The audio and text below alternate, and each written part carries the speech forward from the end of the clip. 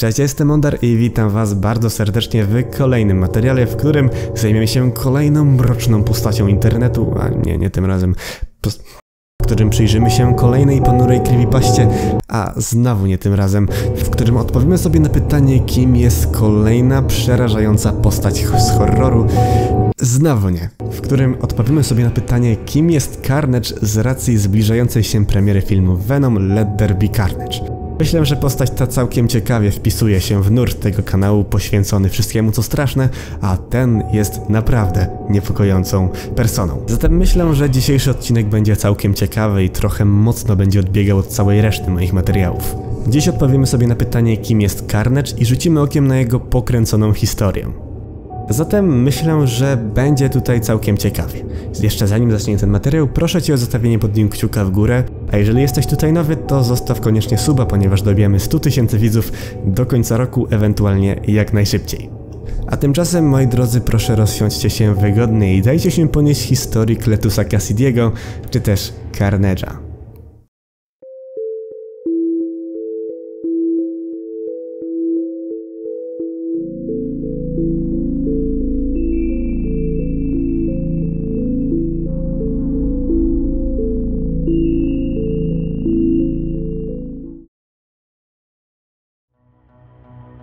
Aby w pełni wgryźć się w historię Carnage'a, pierw powinniśmy rzucić okiem na postać Venoma, lecz aby w przynajmniej małym stopniu zrozumieć tę postać, powinniśmy powiedzieć kilka słów o pewnym epizodzie z życia Spidermana.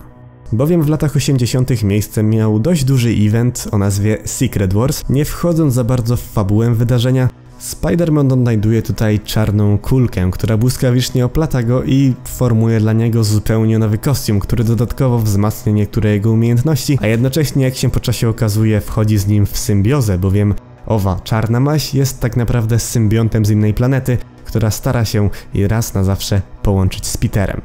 Jakiś czas później na ikonicznej wieży kościelnej pod wpływem wysokich dźwięków wytworzonych przez dzwon kościelny, symbiont rozdziela się z ciałem Petera, który dosłownie odrzuca go, a dotknięty porażką symbiont ścieka na dół, łącząc się z Edim Brockiem, który przyszedł do kościoła, by pomodlić się i poszukać ostatniej deski ratunku przed samobójstwem. Wówczas rodzi się Venom, stworzony właśnie z symbionta oraz Ediego Brocka, obu nasyconych niezwykłą nienawiścią do Spidermana.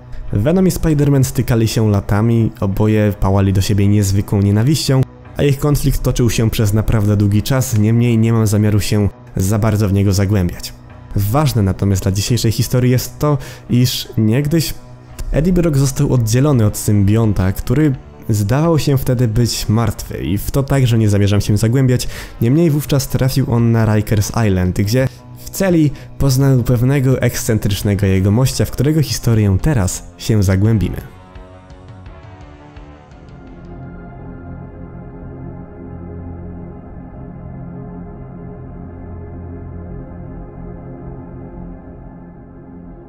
Właściwą historię Carnage'a możemy rozpocząć od dzieciństwa chłopca imieniem Cletus Cassidy. Mówiąc krótko, było to dziecko o niezwykle ciężkim dzieciństwie i dość zrytą psychiką, co pokazywało się już od najmłodszych lat jego życia. Czy to gdy zepchnął swoją babcię ze schodów, czy to gdy powiesił swojego psa w grudku za domem, co poskutkowało rodzinną awanturą, w wyniku czego jego ojciec zatłuł jego matkę na śmierć. Resztę dzieciństwa chłopak spędził w sierocińcu, gdzie był prześladowany przez swoich rówieśników ze względu na swoje specyficzne zachowanie, a także rudy kolor włosów.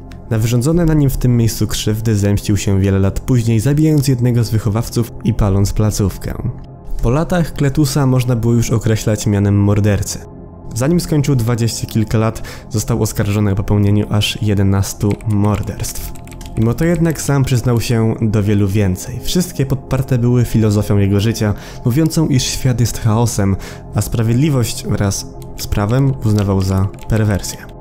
Ważniejsze zdarzenia w jego historii miejsce mają jakiś czas później, kiedy to rudowłosy morderca został osadzony w celi z niejakim Edim Brockiem, który wówczas odseparowany był od symbionta, przez co wszyscy traktowali go jako zwykłego, w cudzysłowie niegroźnego przestępcę. Rzecz jasna oboje, łagodnie mówiąc, nie polubili się. Niedługo później pewnego dnia symbiont odnalazł Broka, a po jego ucieczce z celi Venom powrócił. Niemniej w międzyczasie symbiont zrodził potomka i zostawił go po sobie w celi, który niedługo później połączył się z Kletusem Cassidym i wówczas narodził się Carnage co technicznie rzecz ujmując czyni Carnage'a synem Venoma. Co ciekawe, do ciała Kletusa symbiont przeniknął poprzez nacięcie, zatem symbiont przeniknął do jego krwiobiegu, co w skrócie oznaczało, że niezwykle ciężko byłoby ich od siebie oddzielić, a sam Carnage postrzegał siebie jako pojedynczą jednostkę, jedność. Niemniej tutaj należy sobie powiedzieć, iż nie powinno się za każdym razem brać na poważnie tego, co Carnage mówi o sobie, gdyż jak to bywało z chociażby Jokerem, psychika Kletusa jest niezwykle pokręcona, zatem postać ta często może opowiadać zupełnie inaczej swoją historię. Przykładowo raz może stwierdzić, iż chociażby tamtego feralnego dnia zamordował swojego ojca, po czym może stwierdzić, że było kompletnie inaczej. Korzystając ze swych nowych umiejętności, Kletus począł kontynuować swoje morderstwa i przy każdej ofierze zostawiał napis Carnage Rules który co chyba bardziej przerażające był napisany krwią. Jego własną krwią, a nie chociażby krwią ofiary, jak można byłoby się domyślać. To była krew Kletusa. Niedługo rzecz jasna doszło do spotkania Spidermana, jak i Venoma z Carnage'em i tutaj okazało się, iż Carnage jest silniejszy od ich obu. Jest silniejszy od Venoma, gdyż w przypadku rasy Clintar potomek zawsze jest silniejszy od swojego rodziciela i przewyższa go na praktycznie każdym kroku. To też oczywiście działa w przeciwnym kierunku, jednak w trochę inny sposób. Rodziciel zawsze będzie źle nastawiony do swojego potomka, tak jak i miejsce miało to tutaj. Venom od początku nienawidził Carnage'a, a Carnage rzecz jasna od początku nienawidził Venoma, co prowadziło do ich licznych starć. Carnage charakteryzował się czerwoną barwą połączoną z okazjonalną czernią. Białymi oczyma, jak u w zasadzie każdego chyba symbionta, Lecz to, co raczej cechowało go najbardziej, to fakt, iż był w stanie wydłużać i kształtować swoje kończyny, tworząc jednocześnie dowolny przedmiot czy też typ ubrania. Patrząc na fakt, iż pod symbiontem znajdował się Cletus Cassidy, Carnage zawsze swoje kończyny przemieniał przykładowo w ostrza, pazury czy też macki dowolnych rozmiarów. Jak pokazał to chociażby zwiastun filmu. Ponadto mógł także oddzielać części symbionta od swojego ciała, tworząc ostrza czy inne śmiercionośne narzędzia, których używał jako amunicji, które po czasie oczywiście ulegały destrukcji ze względu na zbyt długi czas odłączenia od swej centralnej części. Wgryzać się w jego psychikę chyba za bardzo nie ma sensu, gdyż raczej opowiedziałem o niej już wszystko, mówiąc o jego originie, o jego genezie.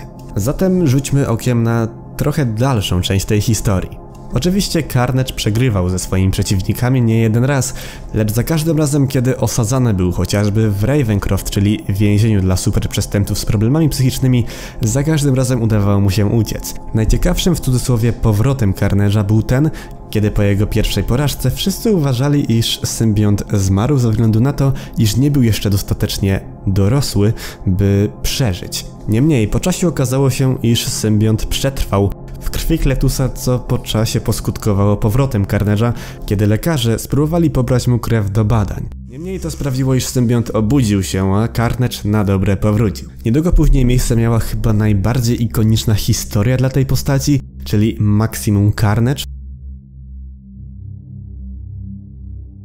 Samo wydarzenie było naprawdę czymś ogromnym. Na jego przestrzeni przelała się masa krw, masa ludzi straciła życie, a Carnage koniec końców spotkał się ze sromotną porażką.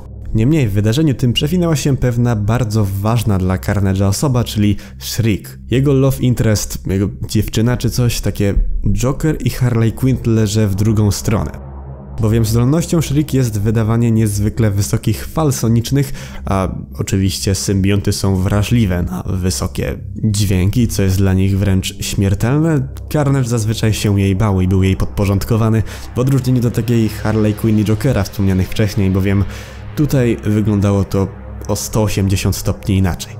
Harley była zazwyczaj podporządkowana Jokerowi. Wspominam tutaj o tym dlatego, iż Shriek pojawi się w całym filmie Venom Let There Be Carnage i osobiście raczej się jaram, tak bardziej. A skoro już jesteśmy przy innych historiach o Carnage'u, no to ciekawie byłoby wspomnieć o tej, kiedy to Venom dosłownie go pożarł, a wszystko to miejsce miało w specjalnej celi przygotowanej właśnie do przetrzymywania Carnage'a. Tam Venom dostał się i odwiedził swojego syna, gdzie wyrwał symbiont z ciała Cassidiego i pożarł go. Niedługo później Kletusowi jakimś cudem udało się uciec z placówki, no chyba wiecie, że w tych wszystkich filmach i tak dalej to te więzienia mają z papieru, bo ucieknie z nich każdy.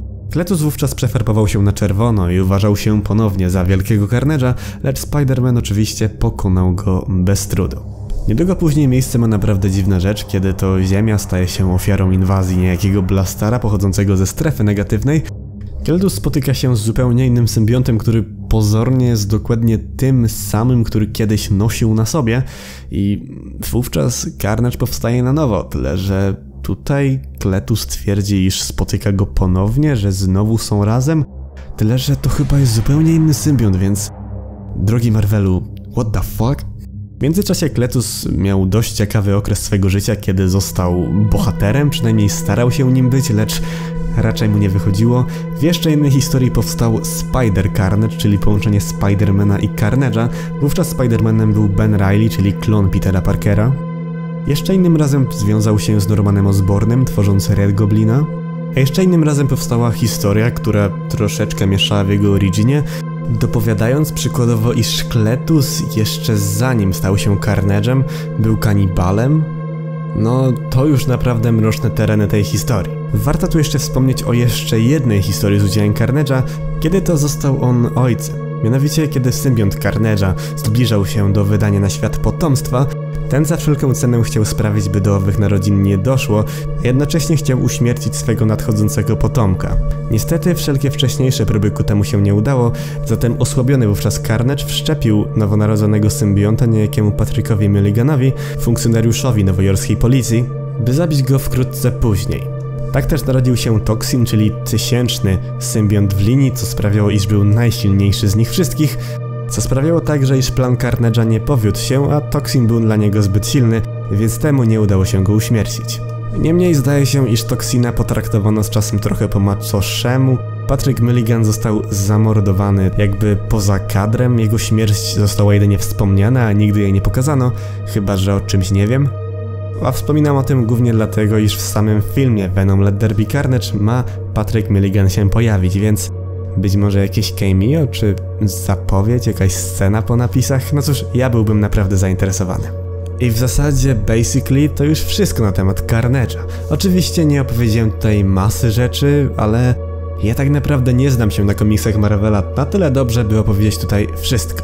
Chciałem jedynie jak najprościej przedstawić wam kim był Carnage jeszcze przed seansem Venom Let There Be Carnage, czy też w Polsce Venom 2 Carnage. A wy czekacie na ten film, czy może oglądacie go tuż po jego obejrzeniu, w sensie już po 15 października? Dajcie koniecznie znać w komentarzach na dole, a jeżeli ten materiał Ci się spodobał, to strzel pod nim kciuka w górę, zasubskrybuj kanał, jeżeli jesteś tutaj nowy, a także zapoznaj się z moimi poprzednimi materiałami i wyczekuj tych następnych. Wpadaj także do mojego Discorda, Instagrama i całą resztę, wszystkie linki w opisie.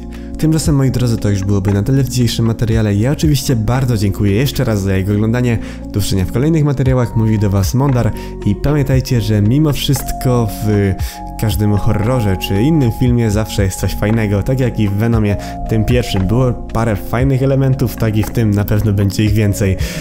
Te zakończenia moich filmów robią się coraz dziwniejsze. Wiecie co, do usłyszenia wkrótce, trzymajcie się ciepło, dobrego dnia wam wszystkim, cześć!